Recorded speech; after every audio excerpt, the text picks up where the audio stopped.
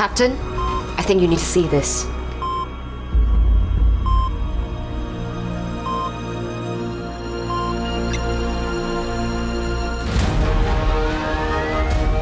There's. There's something in our path.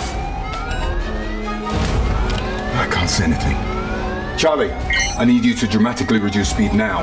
There's an unknown obstacle up ahead. Okay, Captain, it's going to take me a few minutes. We don't have a few minutes, Charlie. This is the Atlantis. We're in urgent need of assistance. Over. I repeat, this is the Atlantis. We're in urgent need of assistance. Do you read? This is Captain Leonore Grayson. We have a time sensitive cargo on board our vessel and we're running blind.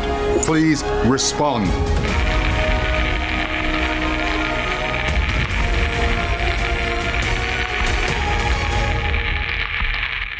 We read you loud and clear, Atlantis.